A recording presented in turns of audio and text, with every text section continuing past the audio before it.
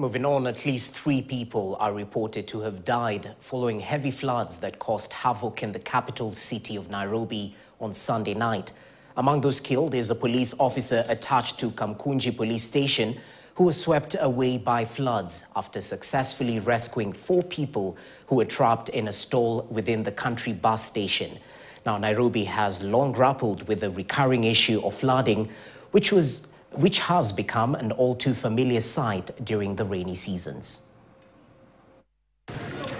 This is the scene witnessed in several neighborhoods in Nairobi, flooding causing damage and destruction. The Karatasi Product Company was not spared. Flood waters submerged in these premises and disrupted daily operations. The flood mitigation infrastructure system here seems inadequate. Shida yenye tuko nayo hapa kubwa sana, si mara ya kwanza. Hii kitu ishatupata karibu mara, mara tatu ikifuatana, na ni shida ni ile the same. Mto ikijaa maji naingia kwa kampuni ndani. Kampuni kuna vitabu, vitabu na maji hazielewani. Kitu ya, kitu ya pili hapa sasa, kazi ni kama si hatuna kazi kwa saa hii, na si sisi peke yetu, kampuni zikapa around, karibu kampuni nne zimepoteza kazi. Workers at this company are blaming the Nairobi County management for turning a blind eye to the flooding problem that has been plaguing them with every heavy downpour. Mi kitu ningependa kuuliza gavana, akifanya kampeni zake alikuwa metro promise atatengeneza mambo ya drainage na sewer lines.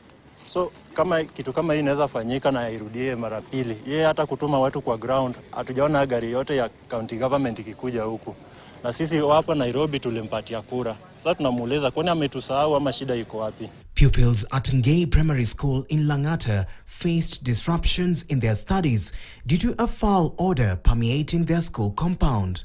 The sewerage system was damaged by heavy rains, causing the perimeter wall to collapse. The sewage spillage also affected nearby residential properties, causing damage. na tumekuwa na shida sana sana wakati mvua inaponyesha, tunakuwa na shida. Unakuta kama hapa vile sasa imefurika namna hii, watu kuna wakati mgumu, watoto waweza wakaenda kwenye msalani na pia wazienda wakacheza, na hii imetokana kwa sababu ya poor drainage pattern yenye iliwekwa na wale ambao wametuzingira kutoka katika tuseme hiyo area ya Lang'ata Center. Dagoretti North MP Beatrice Elachi has urged the county government to rectify the situation promptly. This request comes as residents affected by the flooding continue to relocate their belongings to safer areas. Elachi has called upon the authorities to take corrective measures going forward, starting from tomorrow, to address the anomaly that has disrupted the lives of the residents in the area. There's a neighbor of this that was given approvals. The neighbor decided to build concrete on top of a whole line that carries water from the other side to the river. Tomorrow, we must come here with the Nairobi planners. Let us come and look at the whole riparian land and ask ourselves, how do we ensure this should never happen again?